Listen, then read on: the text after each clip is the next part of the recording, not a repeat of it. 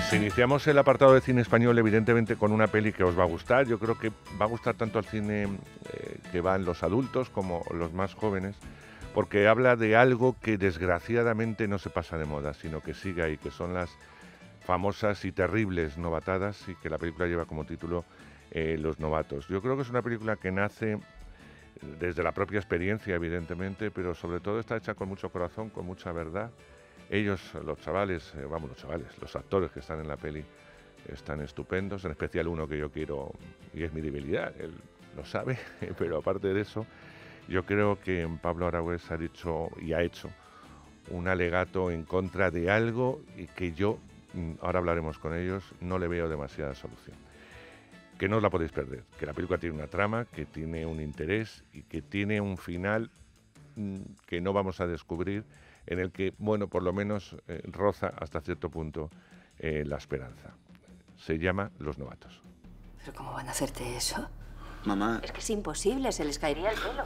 Usted va a aprender, novato. ¡Que no me mire a los ojos, hostia! ¡No! ¡Basta ya de esta mierda! ¡Yo no voy a aguantar esto! Ustedes todavía no han entendido que esto lo hacemos por su bien. Las novatadas son una tradición. Ese es Nicolás Coronado. Querido, ¿cómo estás? Muy bien, encantado de estar contigo. Pues yo también, y además fuera del recinto Disney, que no es ninguna tontería. nos hemos encontrado ahí. Nicolás. Y, por otro lado tengo al responsable para bien y para mal, porque los directores, cuando para bien normalmente se llevan los premios los, los actores, ¿no? Y, y los palos se los suelen llevar los directores, pero él está preparado para todo. Pablo, ¿cómo estás? Hola, ¿qué tal? Hombre, imagino que ya eh, después de todo lo que ha sido la producción, eh, el poder lograr la financiación, el poder rodar, el poder llegar a un acuerdo para que por lo menos la película se vea y tenga una cierta eh, repercusión, imagino que feliz por, llevarla ya a buen puerto, pero por fin llegó la fecha esperada, el 6 de noviembre, ¿no? Eso es, la verdad es que estamos contentísimos porque ha sido dos años de trabajo constante. Una película independiente, pues siempre hay que trabajar el doble, ¿no? Que quizá con una película convencional. Y la verdad es que estamos muy contentos de poder llegar el día 6 a, cines de todo el país. Estamos contentísimos en ese sentido, claro está.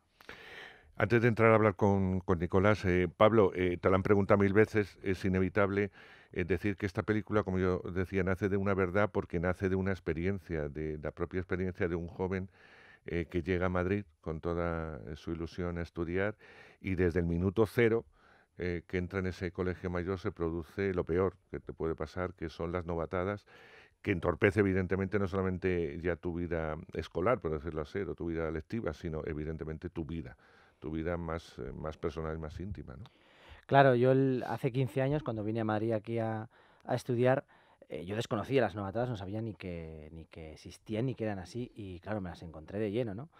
Eh, entonces, pues cuando, mm, cuando tú has vivido una cosa en primera persona, eh, siempre piensas que es una cosa que te ha pasado a ti, igual no piensas tanto que le pasa a la gente, ¿no? Pero eh, Marta Cabrera, mi productora, me dijo, tú conoces este, este problema, eh, le pasa a chavales todos los años en todos los campus, escribe un guion, porque tú conoces, no es, no es, como que tú te cuenten relatos, que te cuenten testimonios y tú los pongas en un guion, sino que tú puedes contar tu propia experiencia, ¿no?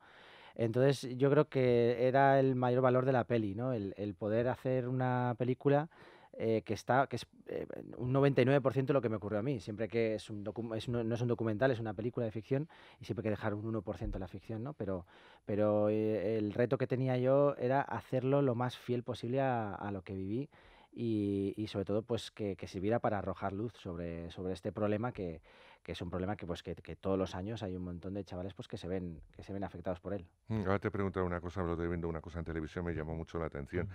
La película tiene dos visiones. Por un lado, eh, vemos al protagonista eh, que entra en ese colegio y desde el minuto uno, como decíamos, pues ya le, empiezan a suceder cosas.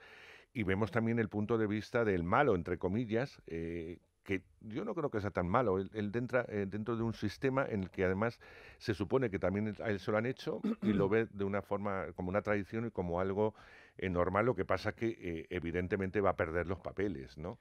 Y, y, decimos, bueno, es el malo malo, el malo malo hasta cierto punto, hay un momento en la película que hay una cierta inflexión y eso hace que el personaje sea mucho más atractivo y es el personaje que interpreta Nicolás, que con la cara de bueno que tiene y lo estupendo muchacho que es, de verdad, aquí, iba a decir un taco, pero no puedo, pero das un poco de miedo. Yo también estoy contigo que creo que, que, no deja de ser otra víctima, ¿no? Este, este que juega un poco más que malo, a lo mejor la parte oscura de, la historia, pues yo creo que también eso, que es una víctima de la sociedad, de, una educación y, exactamente pues este, este personaje, este Estevez, eh, es un personaje que se apoya mucho, que, sabe que tiene el poder en su mano y, se recrea un poco es, ese mal uso del poder que se vuelve destructivo, ¿no? Y entonces este personaje pues se recrea un poco en, en ese, en ese humillar al novato, ¿no? Y en ese recrearse en ello, ¿no?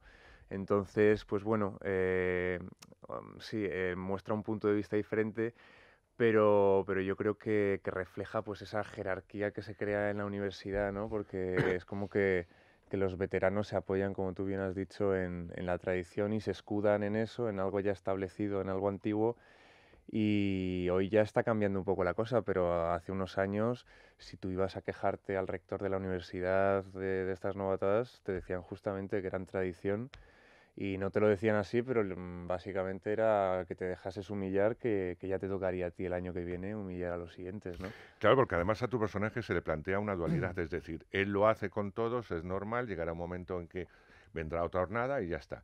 Pero como se le revela, eso hace que el personaje saque tu, sus mm, peores instintos. Sí, sí, eh, sí, sí, la verdad es que, bueno, así es la realidad, ¿no? Eh, supongo que, que luego en quienes se encuentran con esta realidad, los chavales que empiezan un curso, pues habrán los que sean más resueltos, que tengan más carácter y que sepan torear un poco esa situación. Y luego habrán otros chavales, que es por los que más nos interesa un poco esta película, el abrir una puertecita, que son la gente que a lo mejor pues tiene una sensibilidad un poco más especial o más frágiles mm. y a lo mejor pues eh, como, como se tiene establecido estas novatadas como una tradición, pues lo aguantan y lo viven en silencio o hasta ahora pues mm, así ha pasado mucho y, y esto al final pues claro, ya aparte de, de una agresión física que puede haber y que las hay muchas veces, que es lo que nos suele llegar y de lo que nos enteramos en las noticias cuando pasa algo, pues hay otros Mm, cientos de casos en los que hay una agresión física, eh, emocional o psicológica y eso no nos llega a nosotros y no nos enteramos y entonces la gente cree que de repente esta película pues está como exagerando un poco y para nada. Lo que pasa es que esto pasa a día de hoy y el problema es que no nos enteramos. Ese es el, estamos confundidos por el eso. grandísimo problema. Pablo, cuando yo vi la película al poco tiempo, eh, se iniciaba el curso eh, escolar, el curso de eh, nuevo, y eh, hicieron un reportaje en televisión, no hablo del especial que se hizo sobre novatadas, sino un reportaje de ese inicio y se habían filmado novatadas, ¿no? Las novatadas típicas de embadurnar de huevo, de, bueno, en fin, me pareció totalmente una, una humillación. Y era curioso porque cuando entrevistaban, eh, y hablo que era una cosa muy corta porque una pieza para un telediario, cuando entrevistaban a, a los que sufrían la novatada, eh, decían que era algo normal, que no se sentían humillados, que era todo estupendo. Y a mí me parece que eso hace un daño terrible. Sí, lo hace, sí. Porque eso no es verdad. Es que, o sea, eh, ¿cómo te vas a sentir bien si te están humillando? Claro. ¿Por qué a cámara eh, dicen eso? Hay miedo, porque tú lo has vivido también desde, desde ese punto. ¿Hay miedo a decir la verdad? Por un lado, hay una especie de ley del silencio, de no, de, de, de no contar lo que son las novatadas y demás. De hecho, a los, a los, a los novatos que, que hablan sobre ello les hacen el vacío totalmente, ¿no? Eh, pero por otro también hay un enorme lavado de cerebro. Quiero decir que, que tú con 18 años entras, te vas a otra ciudad, ¿no? Eh, entras a, en un colegio mayor y te ponen una serie de reglas eh, y si acabas cumpliéndolas un año después, realmente eh, puedes acabar creyéndolo, porque la mayor parte de los chavales tienen como una especie de síndrome de, de, Estocolmo con el tema de las novatadas, como de que al final pues acaban creyendo que son buenas, que se lo han pasado bien, que aunque les hayan pues hecho eh, eh, humillaciones pues tanto físicas como psicológicas, como lo que sea, eh, eh, pues pueden, acaban pensando que, que, eso es lo normal y que eso es divertido incluso, pero eso es el parte del lavado de cerebro que, que, que, son las novatadas. La, a nosotros que nos ha, lo, lo, los dos últimos años eh, preparando la película nos hemos asesorado mucho también con la asociación No Más Novatadas, que son los que a, a día de hoy son los que están un Los poco únicos que los únicos, exacto, que están pendientes con, con el tema de todos estos chavales, ¿no? Eh, y ellos nos, nos contaban previamente eso, eh, eh, todo el lavado de cerebro que se les hace, pues cuando tú tienes 18 años y vas a una ciudad nueva, estás en un momento vital en el que en el que de un año para otro cambias mucho y te influye mucho la gente que tienes a tu alrededor, ¿no? Los, los amigos nuevos que haces y demás. Entonces, muchas veces por entrar dentro del grupo de amigos, muchas veces por querer encajar, acabas aceptando cosas que de otra manera no, no, no lo harías, ¿no? Y, y eso acaba cambiando eh, la manera de pensar y, y una cosa como es que, que te humillen, pues acaba pareciéndoles divertida. Yo creo que la clave está, es una clave pedagógica, ¿no? El, el camino hacia una posible solución está en que entiendan, eh, sobre todo entiendan los chavales que, que no tienen por qué pasar por eso. Mm. Y cuando tú haces esta película, de alguna forma liberas tus, tus demonios, ¿no? Interiores. Sí, por un lado, De claro. alguna forma sí, pero por otro lado vuelves a recordar cosas que, que se van tapando, porque tampoco creo que sean recuerdos muy, muy estupendos a la hora de, de- de volver otra vez sobre, sobre algo que has sufrido en tus propias carnes, ¿no? Es una película dolorosa. Sí, sí, sí, sí que lo es. Ya escribiendo el guion, la verdad es que había días, había noches que había estado escribiendo todo el día y había noches que me iba pero enfadadísimo a la cama porque la, pro- la memoria yo creo que es selectiva y te, y te Sí, elige cosas, y sí. te, exacto, y te, y te quita cosas de, de la memoria que te- y entonces al escribir tú, des- tú abres la caja, ¿no? Y entonces empiezan a salir ahí eh, malos recuerdos y había escenas que, que- que- que- hay escenas en la película, vamos, que, que son eh, eh, 100% lo que ocurrió hasta en los diálogos, ¿no? Y rodando con Nicolás, por ejemplo, eh, había momentos que yo lo pasaba mal, porque eh, él estaba con, con los otros actores recreando esos, esos recuerdos que fueron difíciles delante de mí y a mí se me ponía la piel de gallina, ¿no? Claro, porque Eh, era el maltratador. Sí, exacto, exacto. O sea, él, él estuvo, en el papel estaba genial, pero realmente verlo era escalofriante, porque era algo que tú has vivido representado delante de ti. Eh, es- eh, era, era como muy extraño y a la vez pues era como volver a vivirlo, ¿no? Eh, a- como si pudieras verte a ti mismo por, por un agujero, ¿no? Entonces era, era difícil, la verdad es que fueron, yo los días que rodamos las novatadas, yo esos días los pasé mal, esos días yo eh, anímicamente estuve peor. Curiosamente, eh, él no tiene cara de No. porque tiene cara de angelito. Yo creo que la gracia también era eso, que, que- que- que yo creo que ¿Por qué le cogiste? Es lo que te quería preguntar. Pues yo creo que, que precisamente por eso, porque yo creo que la gracia estaba en que, en que, mm, en que, eh, en que él no parece, él no parece el malo de la peli, ¿no? Y yo creo que una peli, eh, el malo, cuanto mejor construido esté, mejor va a ser esa peli, porque, eh, porque, eh, porque es así, o sea, los malos son atractivos en las películas. Eh, y, realmente eh, el, el- que puedas construir un personaje que sea el, el- villano, ¿no? El malvado, y que tenga una base sólida como la que le ha dado Nicolás a su personaje, pues yo creo que es muy importante. Él, por ejemplo, logró una cosa que, que- que a mí me parecía súper difícil y él la, la logró enseguida, que es, lo comentamos muy al principio en los ensayos, que creíamos que su personaje no debía gritar nunca. Solo perder los papeles en todo caso si era algo personal, pero nunca, nunca, nunca por su rol de jerarquía, ¿no? Que él bastaba con una mirada, con hablar muy levemente, con un gesto, para ordenar y todos le obedecían. Y él eso lo, eh, dijo, dijo enseguida, lo voy a hacer así. Voy a, voy a hacerlo así y, y yo creo que eso fue fundamental para, la, para el papel porque, porque es verdad, tú ves la película y está llena de violencia contenida los, los, los veteranos, lo que les hacen a los novatos, pero, pero su personaje eh, es que realmente eh, casi solamente tiene que mover un dedo para que le obedezcan. Entonces tiene tal poder que yo creo que eso asusta. Sí, asusta como asustaban los nazis como, como torturadores, es Claro. decir, no gritaban, sino daban pánico ya nada más verles. Bueno, y a ti cuando te dan el guion y te toca este personaje, ¿da miedo? ¿Da miedo? El, Da el- miedo el enfrentarte al meterte a- personaje, no- Hombre, no el personaje eh, sí. Siempre da mucho respeto, ¿no? Porque siempre me ha tocado, pues, eso, más el, el bueno, el enamorado, romántico. y la verdad es que, bueno, pues que, que hayan depositado en mí la confianza de, de que puedo hacer bien esta otra parte, este otro rol de la película, pues la verdad es que ha sido una confianza que yo he cuidado mucho y he querido satisfacer un poco a, a los que han eh, apostado por mí, ¿no? Y al final, pues bueno, viéndoles contentos, pues yo me he quedado muy contento. Y mira que yo soy eh, bastante crítico conmigo mismo y yo siempre que, que tengo un trabajo y vuelvo a casa ese día me quedé dándole vueltas de, ahí lo tenía que haber hecho de, de esta manera o de otra. Y aquí me iba cada día muy, muy tranquilo a casa, ¿no? no sé. Los deberes bien hechos, ¿no? Sí, quizás, mira que es paradójico, pero a veces cuando, cuando actuamos tenemos un personaje más cercano a nosotros, con más afinidades, de repente es más difícil que cuando te alejas de ti mismo, ¿no? Claro. Cuando te alejas es como que hay una construcción de personaje mayor y ya como que te vistes a, a ese personaje y a ti te dejas ahí aparte y estás aquí, ¿no? No, no estás pensando que, no estás ah, hablando desde ti, desde tu Mm. propia experiencia, sino que estás aquí en la pura ficción que has creado, ¿no? Claro. Y de repente pues se disfruta más desde ahí.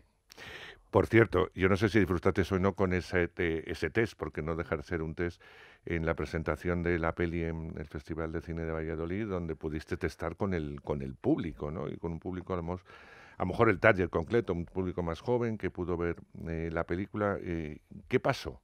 Pues eh, lo primero fue, un- fue una satisfacción el poder ir a Seminci, porque es un festival con prestigio enorme y nosotros, que somos una película pequeña, el poder presentarla allí, pues fue un gustazo. Pero luego, además, como nos pusieron eh, la proyección en, la Universidad de Valladolid, sí que vino, sí que vino público joven, sí que vinieron estudiantes, sí que vino eh, gente así, pero luego nos sorprendió mucho que vino mucho público adulto. Vino gente de la propia universidad, vino la vicerrectora de la universidad y luego vino público adulto simplemente porque se había enterado de la proyección. Y nos sorprendió mucho eso, porque siempre quizá tendemos a pensar con la película que como es una película interpretada por actores jóvenes, le interesa solamente a los, a los jóvenes, ¿no? Pero vimos que también a, a gente, pues, que, que principalmente son padres, pues les interesaba mucho, porque claro, muchos eh, sus hijos o igual un año, eh, dentro de un año iban a ir a la universidad, cosas- y entonces, claro, esto les llama mucho la atención, ¿no? Porque era, pues como les podía pasar a mis propios padres cuando me mandaron a mí a un colegio mayor, que, que desconocían el tema, claro. Mm. Entonces, la verdad es que el coloquio que tuvimos allí después de la película en Valladolid eh, fue estupendo por eso, porque vimos eh, la reacción de la gente y luego nos sorprendió mucho que había gente, había gente mayor que le, que le chocaba mucho la que los chavales jóvenes entre sí eh, tuvieran ese grado de violencia, que, que igual en el cine están acostumbrados a, a verlo entre personas adultas, pero entre chicos de 18 o 20 años no estaban acostumbrados y les, y les marcó. Y además universitarios, Exacto, sí, sí. que sí. no es un lumpen, eh, que dices, Claro. bueno, eh, se han criado la violencia. No, porque yo creo que además el, el problema, el mayor problema o uno de los mayores problemas de las novatadas es que si la- los adultos eh, eh, eh, damos esa permisividad a, estos chavales que llegan a la universidad de que ejerzan esta, esta serie de humillaciones sobre sus semejantes, les estamos dando una lección de vida eh, que es que, que- que es que precisamente esa, humillar a sus semejantes. Cuando salgan de la universidad de formarse para ser médicos, abogados o lo que sea, y se enfrenten a la sociedad, ¿qué, qué- qué- qué experiencia vital habrán sacado y cómo, cómo se enfrentan a la sociedad ¿no? con esa enseñanza? ¿Y tú qué sacaste del coloquio? Pues la verdad es que me resultó muy interesante porque también había incluso algunos alumnos que, que de repente decían, uy, pues yo me he sentido un poco dolido como, como estudiante al ver esto, ¿no? Y claro, eran, eran los que hacían las novatadas. Pero, pero bueno, pero fue interesante también el, el aclararlo un poco, porque, claro, esta película no habla ni de que todos los veteranos sean unos canallas, ni que, que todos No, los no, novatos sean víctimas, ¿no? Son, concreto. son eh, un porcentajes pequeños incluso dentro de, de todo el, el bruto de que somos, pero, pero que son casos que, que pasan todos los días, ¿no? Y entonces como que tenemos esa confusión un poco, e incluso los alumnos, sobre todo el que no lo ha vivido desde el punto de vista de la víctima, lo tiene entendido como una broma, como algo más superfluo, más liviano, Mm. y, y- y esta película lo que te lleva un poco es más a empatizar con, con el que hay que defender, con la víctima que, no con cualquier víctima, porque hay víctimas, como te he dicho, más resolutivas y que saben torearlo, pero las otras que no, que, no saben, que no saben y que, y que lo viven en silencio y- y creen que eso, que además tienen que pasar por el aro porque, porque es tradición y porque no pueden hacerlo nada, pues por esa gente es por la que yo creo que trabajos como estos a lo mejor pues les van a dar pie a decir, hey, que no tengo por qué aguantar esto, ¿no? Mm. Y, y antiguamente, pues, bueno, no antiguamente, hace pues relativamente pocos años, eso no era, ¿no? Eso no, no podía ser, no, no, no podías hacer nada, vamos, te tenías que ir del colegio mayor porque no te quedaba otra. No quedaba más remedio, como le puede pasar al, al personaje. Eh, eh, yo creo que otra de las cosas que plantea Novatos que a mí me gusta mucho es que también vemos esas novatadas en chicas. Es decir, el, el protagonista es un chico, el colegio, él lleva el peso.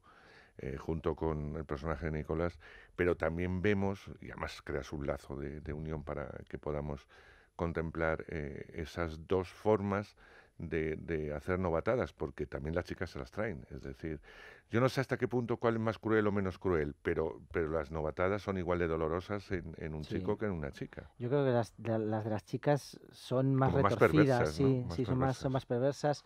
Eh, y las de los chicos, quizá los chicos en general, ¿no? Somos más brutos y entonces pues son un poco más físicas, son un poco más así, ¿no? Pero las de las novatadas de las chicas son muy duras. Yo eh, eh, las que las que las que vi, las que y las que me tocó ver cuando fui a la universidad, pues fueron han acabado en la película, pero luego a raíz de hablar con la asociación Nuevas Novatadas me contaban de, de por ejemplo, en ciudades como Santiago de Compostela, las novatas que hacen los colegios femeninos que son tremendas, que, que son, que son tremendas. Y además, en los últimos años, como, como las novatas han sacado también un poco de los colegios mayores, a raíz de que algunos se han sensibilizado un poco con el tema, se las han llevado al espacio público, a parques muy asociados con el tema del, botellón y demás. Y, y, como entonces ya sí que se han acabado juntando colegios masculinos y colegios femeninos en parques, ulti las, últimamente, la, en los últimos años, sí que, eh, sí que ha habido casos de que se están llevando además por el lado de casi que casi son agresiones sexuales eh, entre sobre todo pues eh, pero dentro de las propias chicas incluso no entonces la verdad es que son eh, tienen unas unos tentáculos muy alargados las novatadas no porque también están un poco sujetas a la imaginación perversa de quien las ejerce no entonces el, es muy difícil el, el, el cuantificar el qué y cómo y luego también para la gente que quiere luego que quiere intentar denunciar o lo que sea, es muy difícil también el cómo probar las cosas y, y luego sobre todo es dificilísimo que, que encuentren tres testigos, ¿no? Y gente que quiera apoyar los testimonios. Entonces es, es muy difícil tanto para los chicos y las chicas, ¿eh? son, son muy difíciles. Me gusta mucho también que eh, lo hayas alejado del morbo. La película no es nada morbosa. De hecho, creo que incluso dejaste muchas secuencias, bueno, muchas, dejaste algunas secuencias físicas en, en la sala de montaje para no eh, ahondar y recrear ya lo que podría haber sido morbo y, y, algo también que ya de por sí la película es dolorosa, como para que excederte, ¿no? Eh, pasar la, la línea. ¿no? Claro, nosotros el reto era hacer una película realista, es, era hacer lo que, lo que yo viví, eh, en ficción obviamente, pero, pero hacerlo lo más realista posible. Eh, no queríamos hacer una cosa exagerada ni morbosa y de hecho, por ejemplo, había algunas escenas que, que, aunque a mí me ocurrieron en la realidad, las tuvimos que suavizar un poco, ¿no? Porque en el minuto 4 te, te enseñan eh, una cosa tan... Eh, la, la, realidad siempre sufre a la, a la ficción. Entonces, eh, te enseñan una cosa muy dura en el minuto 4, el espectador es muy posible que diga, y, y, pero ¿cómo, ¿cómo, el protagonista no se vuelve contra esto? ¿no? Y tú en, tú en, tu, en la vida real eh, cuando vienen siete tíos a por ti, es muy difícil que te puedas volver. En una película estamos acostumbrados a que se vuelve y punto, mm. ¿no? Pero en la vida real es muy difícil el que te puedas volver porque te van, van a poder contigo. Eh, pero claro, en, eh, para un espectador eh, eso quizá no lo entendería al principio de la película. Entonces había cosas que tuvimos que, re, que, rebajar un poco la carga de lo que fue en la realidad. O sea, tuvimos que suavizar la realidad claro. para que el espectador pudiera aceptarlo, porque si no, igual en el minuto 4 decía, pero, pero si le están pegando ya, ¿por qué no, no se vuelve? Y, y, o ¿Por qué no se va? Y entonces pues eh, hubo que, que, hacer eso, ¿no? ese, ese ejercicio. Pero, pero vamos, mm, eh, fue precisamente por eso, porque por, a, por, por, por, apoyar, por apoyar el relato y que, y que pudiera funcionar por eso, porque si no también es que, claro, yo creo que es lo que veíamos, lo que vimos cuando fuimos a Valladolid, que, que sorprendía mucho, ¿no? El grado de violencia eh, que podía haber entre chavales muy jóvenes. Y ahí está. Y ahí está. Bueno, eh, con esto quiero acabar, Nicolás. Tu vida actoral no acaba afortunadamente con los novatos. Tienes uh -huh. una película pendiente con Ivana Vaquero y estás ahora de nuevo en una serie de, de televisión sí, con sí, sí. dos monstruitos, ¿no? Con Noriega y con Marta Tura. Con Marta Tura, correcto. Sí, además eh, un personaje muy interesante porque, porque mm, es un alemán. ¿Por qué será?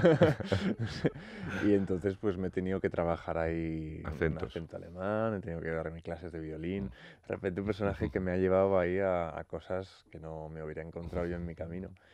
Y bueno, la verdad es que muy contento, veo que se van abriendo caminitos y, poco a poco.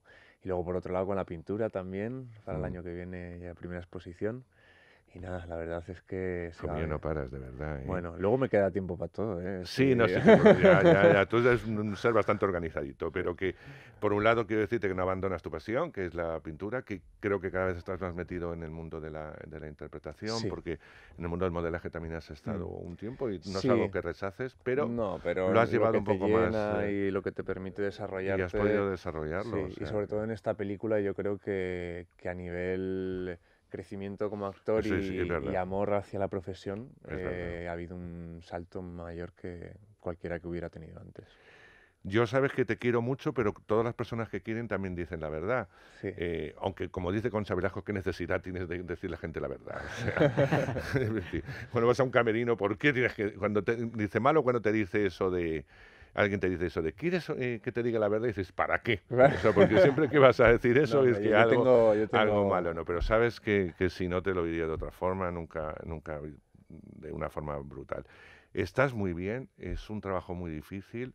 eh, yo creo que lo has entendido perfectamente. Era difícil, y yo creo que Pablo lo ha explicado muy, muy bien, el poder nivelar eh, el nivel de actuación, porque no consiste en que sea el malo, malo, malo. Hombre, evidentemente tenemos que identificar para ver eh, el, el chaval que va a sufrir o los chavales que van a sufrir las novatadas y quién se lo hace sufrir. Mm. Pero había que medirlo porque no, dejas, no es un estereotipo, es un ser humano también que evidentemente hay que contar un pasado que no es necesario, Mm. pero que tenemos que adivinar. Y eso lo logras a través de esta interpretación. Muchas gracias. Así que querido, enhorabuena. ¿eh? Muchas gracias. Al resto del reparto de, decírselo también, eh, Claro que sí. porque sé que has combinado actores con gente que, que de alguna forma debuta en, en esta película. Y ojalá te vaya muy bien, Pablo, para que podamos volver a hablar Pues muchas eh, gracias. de claro una sí, próxima ojalá. película en la que ya una vez desencadenados todos los eh, demonios puedas sacar otros demonios fuera y podamos ver pues otro otro tema y otros personajes, ¿no? Que en definitiva es lo que os gusta a los cineastas. Que vaya bien, sobre todo estar atentos todos los que eh, tenéis en vuestra ciudad los cines Yelmo, que sabéis que es una cadena inmensa y por otro lado estupenda, porque los eh, se ve muy bien las películas en sus salas, los Yelmo, acordaros, y acercaros a ver eh, Novatos. Yo creo que la película puede tener un crecimiento si vais. Y yo espero que vayáis. Como decía Pablo, no solamente es una película, yo decía al principio, enfocada a un público determinado que puede sufrirlas o que las ha sufrido, sino también a, a- a un público adulto que lo desconoce, que la ha oído en los telediarios o ha visto películas tontas, me refiero tontas como tratan el tema, como American Pie o Desmadre a la americana, en fin, tantas otras en que la novatada que divertida es y que no tiene nada que ver con, con la realidad. Y en este caso, y en esta película, eso de está basada en hechos ficticios es mentira. Es decir, ahora que está tan de moda poner basada en hechos reales, pues evidentemente está, nunca mejor dicho, basada en hechos reales y en hechos que desgraciadamente sigue sucediendo. Muchas gracias a los dos, Muchas gracias a mucha gracias. mierda y que vaya fenomenal. Gracias. Música